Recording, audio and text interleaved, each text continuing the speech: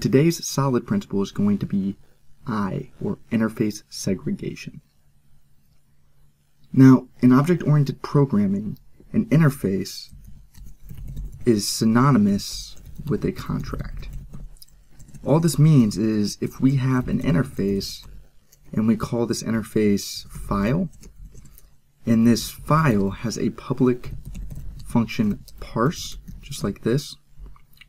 So whenever the file interface has a parse function, then you can think of this as a contract, meaning that any single file or any single class that implements this contract or this file interface is contractually binded to use this parse function or method. It has to have this parse behavior.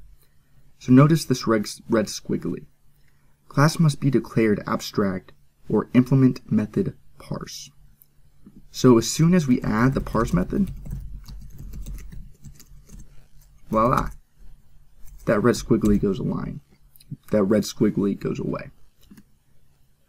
So, interface is just a contract demanding that the class implementing that contract has all of the behavior the contract demands.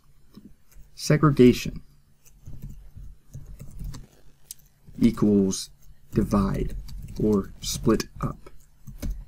All this means is if this interface, if this file has a, I don't know, public function HTML content, and this JSON file class obviously doesn't need to use HTML content, then, you know, why is it, why would it need to implement an HTML content function? It doesn't, right? So instead of doing one interface where the JSON file implements that interface and is forced to depend on a method or a function or a piece of behavior it is contractually binded to have HTML content as a method, instead of doing that and just leaving this empty because it's, you know, we're in JSON file, it's not going to get HTML content.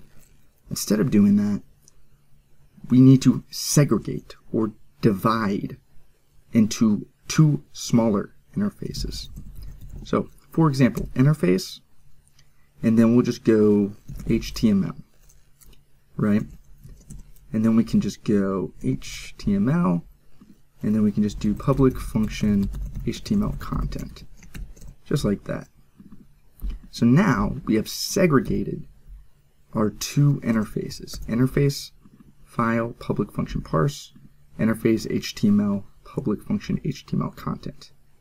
So now, because we have segregated our interfaces, we can remove that function. We can remove HTML content from our JSON file class. Now, the interface segregation principle states that no client, here, I'll actually type this out real quick. No, this is exactly what the interface segregation principle says. No client should be forced to depend on methods it doesn't use. Okay. So interface segregation is defined as this. No client should be forced to depend on methods it does not use. So, no client, well in this case, the class is our client. Client equals class.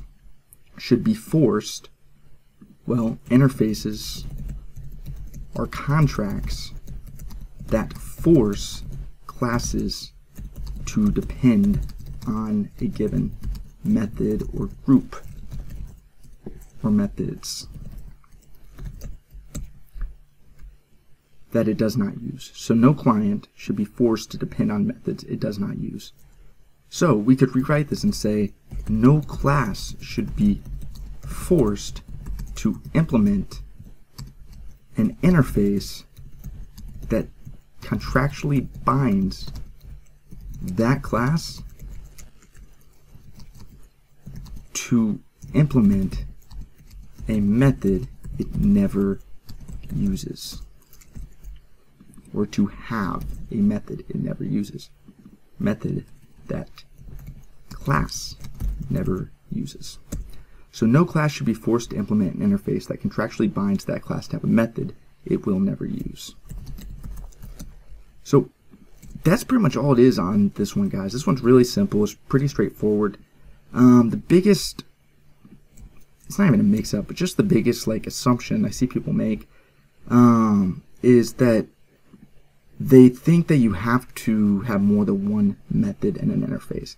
It is absolutely and completely acceptable to have an interface that only demands a class implement a single function um, or a single method. So don't be afraid to make small interfaces. If you have a big interface, you're probably doing something wrong. Um, if you have a smaller interfaces or even one function interfaces in a lot of scenarios, then you're probably doing something right.